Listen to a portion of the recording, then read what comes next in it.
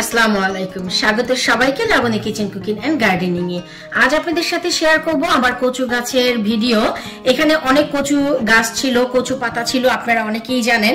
এবং সাইড থেকে একটু লক্ষ্য করলেই দেখবেন যে আমি অনেক ডগা কিন্তু কেটে নিয়েছি। কারণ এত বেশি হয়ে গিয়েছিল, বাইরে দিতে পারছিলাম না।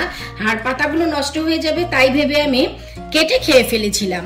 তবে এই যে মাঝখানে যে ডগাটি আছে, শুধু এই একটি করে ডগা আমি রেখে দিয়েছি পাতা সহ কারণ এই ডগা থেকে, এই যে দেখুন, সাইড থেকে আবারও নতুন করে ডাল বের হবে, এই যে এখান থেকে।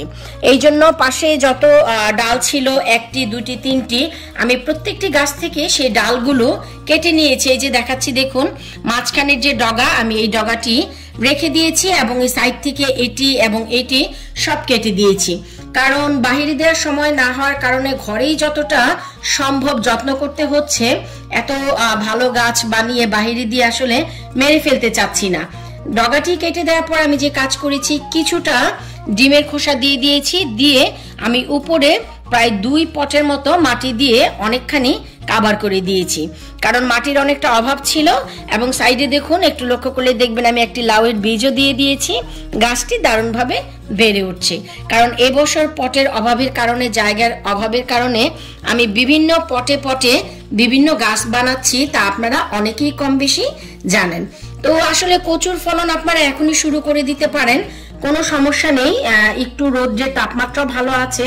তবে এখন যদি আপনারা চান সরাসরি গার্ডেনেও দিয়ে দিতে পারবেন। মে মাসের শেষের দিক থেকে দেখবেন আপনাদের কচু গাছ বের হয়ে গেছে। আর বেসিক্যালি এই গাছগুলো আমি মাটিতেই দিব। আই মিন হয় মাটিতে বা বড় টবে। অবশ্যই আপনাদের সাথে শেয়ার করব। তারপরেও কষ্ট করে এই মাসটি অন্তত আমাদের এই গাছটি ঘরে রাখতে হবে। কারণ প্রতিদিন সকালে আমাদের এখানে আইস পড়ে, যে কারণে গাছগুলো দেওয়ার পর মরে যাওয়ার সম্ভাবনা আছে। তাই আর দিচ্ছি না। আশা করব কচু গাছের এই আপডেটটি আপনাদের ভালো লেগেছে। যারা জানতে চাচ্ছিলেন যে আপু কচু শাক কি করেছেন, কচু শাক কেটে আমি খেয়ে ফেলেছি। আপনাদের সাথে শেয়ার করা হয়নি সময়ের অভাবে। পরবর্তী একটি ভিডিওতে আমি অবশ্যই শেয়ার করব। বিদায় নিচ্ছি আজকের মতো। আল্লাহ হাফিজ।